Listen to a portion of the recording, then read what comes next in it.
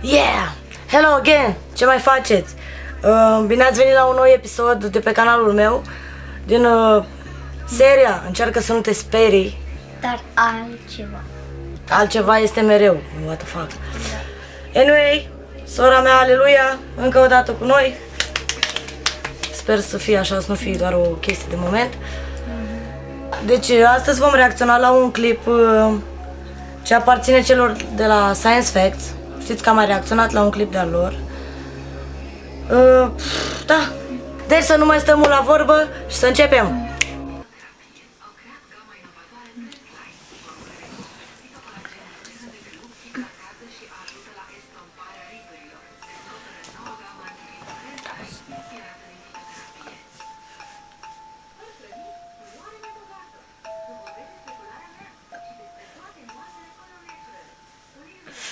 Salutare! Păpușile sunt jucării ce în mod normal ar trebui să stârnească zâmbete, să aducă fericire copilului ce se joacă cu ele. Din păcate, în ochii oamenilor, păpușile pot părea fi deranjante, înfricoșătoare. Există mai multe motive pentru care se întâmplă asta, în principal filmele horror, precum Chucky, filme în care păpușa este corpul gazda al unui demon sau a unei entități malefice. Problema este că, aparent, după cum avem exemplul real al păpușii Anabel, aceste jucării inofensive pot fi Da. posedate de spirite rele și se pot mișca independent. Dacă nu am avea aceste dovezi filmate, Hai, probabil cu toții am crede că este imposibil, ochi are. așa că acestea sunt filmulețele care să dovedească contrariul.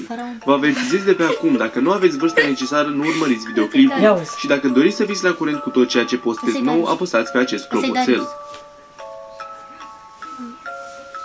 Pe locul 10 avem Păpușa Nervoasă. Este unul dintre puținele videoclipuri de pe internet care, în ciuda faptului că poate fi o scenare, reușește cu brio să sperie vizionatorul, indiferent de vârstă. Fetița din videoclip ține în mână o quinceaniera, păpușă primită de către fete la 15 ani fiind ultimul cadou de acest gen până la maturitate. Păpușa este construită în așa fel încât să se asemene cu posesorul, adică fata a viitoare femeie. În acest videoclip, deși auzim câteva cuvinte în spaniolă, se crede că fata a vorbit urât despre păpușă, ceea ce, după reacția păpușii, nu a fost prea drăguț. Păpușa se întoarce brusc către posesoare, care o aruncă terifiată din mână. Fucking shit. Sau moare. Pe locul 9 avem videoclipul cu această fetiță, care interpretează vocile celor două păpuși Barbie cu care se joacă. Nu se întâmplă nimic deosebit până când tatăl fetei o strigă, aceasta răspunzând imediat. În urma răspunsului fetei, păpușa ținută în mâna stângă a acesteia întoarce brusc capul către ea. Reacția de teamă copilului este firească, făcând din această Oh, joacă vai! inocent o adevărată sursă de teroare.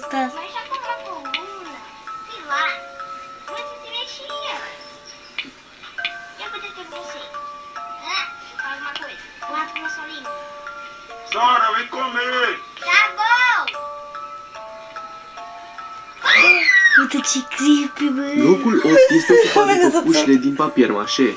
Acestea au devenit cele mai bine vândute și utilizate păpuși la începutul secolului 20. Compoziția acestora reprezenta un amestec de lipici, făină, rumeguș, adică per total, după ce erau lăsate să se întărească, produsul finit era durabil.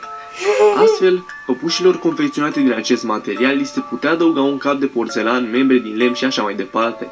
În videoclipul nostru, o astfel de păpușă a fost achiziționată de proprietar la un târg de vechituri. Filmulețul arată Ia foarte că-i clar bei iar. posibila influența unei lumi paranormale. Vai, ce urât, frate. Oh. Pe locul 7 se află păpușa veche. Jucăria din imagini este mai bătrână ca bunicii voștri, având peste 100 de ani. Un obiect așa de vechi trecut prin foarte multe incidente pe parcursul Doamne, timpului ferească, are un risc Sfânt! crescut de atașament față de o entitate nedorită.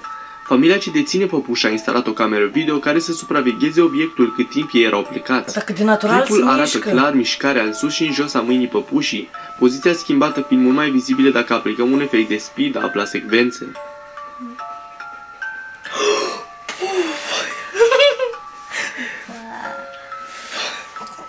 Doamne, câte de Oare creepy. păpușile au sentimente? Cel mai probabil nu.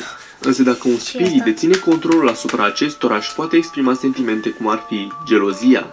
Cel puțin asta vedem în filmulețul de pe locul 6, surprins de mama fetiței din videoclip pentru a imortaliza despachetarea unei noi jucării. Când copilul îi mărturisește mamei că va numi Ai noua noi jucărie jucării. Lovable, mâna păpușii din spate se ridică încet, mișcând totodată lumânarea de pe masă. Știind că în mod firesc oamenii țin lumânările, fie ele aprinse sau nu în poziție verticală, Ok. observăm cum lumânarea de pe masă este culcată, probabil intenționat pentru a se roti mai ușor. Dar din moment ce nu a fost adus un update asupra acestui caz, nu putem ajunge la nicio concluzie.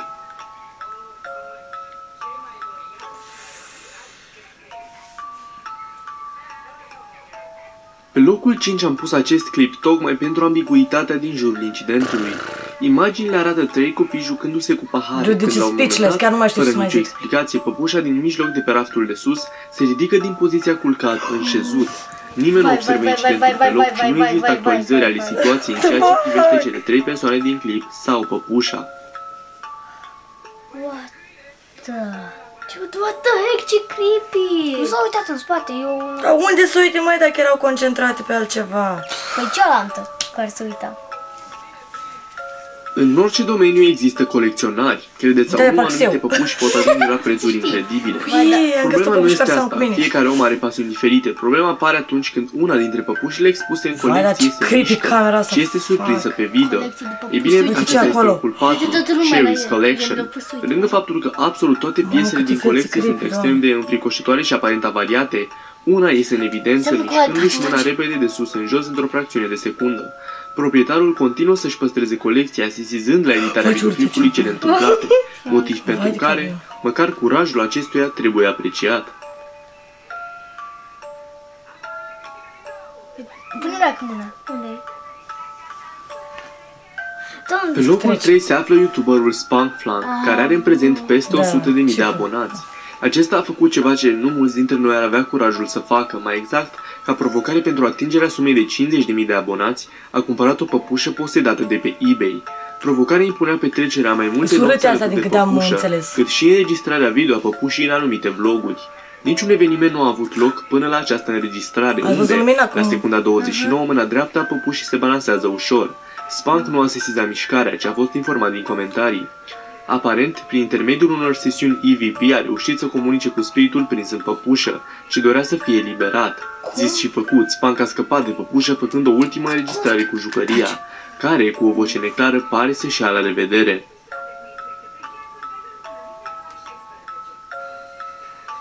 E bine că a reușit și nu a făcut accident. Videoclipul realizat de Brian Lubecki se află pe locul 2. Întreg conținutul postat de acest E tarot Annabelle? pentru Da, e clip, Annabelle. fiind bazat în mare parte pe E Annabelle, colecția sa e de Annabelle. păpuși blestemate. Asta e. Într-un videoclip Bă, în nu, care bă, nu, bă, Brian nu, își bă, nu, testează o bă, nu, nouă bă, cameră nu, da. Aia e achiziționată, roșu. una dintre Uitați. păpușile din vitrină își schimbă poziția ochilor de ochii. mai multe ori, schimbare sesizată de posesor. La o Parcă analiză nu- mai atentă, chiar Vezi, și așa parcă gura am văzut. păpușii se mișcă, imitând diverse expresii Vai, faciale. vai, ce urât, ce urât, Foarte ce urât, mulți ce sceptici urât, au ce explicat urât, fenomenul ce prin urât, simpla ce urât, construcție a ce urât. păpușii menită să aibă poziția ochilor și a gurii verificate. Mereu mă sperie cu Însă ușile Brian astea a care își afirmat că închid respectivele ochii. păpuși, mai ales cea imortalizată, nu funcționau pe baterii și niciun stimul exterior nu a Mereu mă determinat sperie mișcarea Mă, de obicei când le respectivelor miști fac elemente. așa cu ochii. Mereu mă sperie păpușile astea. Uite, Wow. Vai. De asta aș... Mereu mă sperie păpușile astea cu ochii ăștia. da, vai. Lasă Pe locul întâi avem păpușa din spatele sticlei. Această păpușă a fost considerată de către proprietari ca fiind blestemată. Convingerea acestora se baza pe tot felul de mișcări ale păpușii, cât și incidente paranormale din incinta casei. Jucăria a fost predată imediat expertului în fenomene paranormale, Jane Harris, după ce într-o seară posesorul s-a trezit cu păpușa înfășurată strâns în jurul gâtului acestuia. Ținută într-un container solid de sticlă, crucea cu ajutorul căreia era manevrată se poate observa lovindu-se de peretele containerului de mai multe ori. Se crede că sufletul rătăcit ce bântuie păpușa este însuși creatorul și și după moarte se Posibil, află în băi. control absolut asupra jucăriei înfricoșătoare.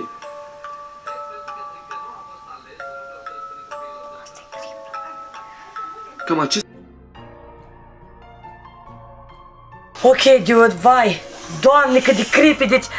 Acum când m-am uitat la chestiuța asta, nu știu, mi se pare că cineva în camera cealaltă la mine și... eu- Umbrat de la un scaun, dar mi se pare că stă cineva în picioare și nu știu, mă simt așa de... Unde? Acolo.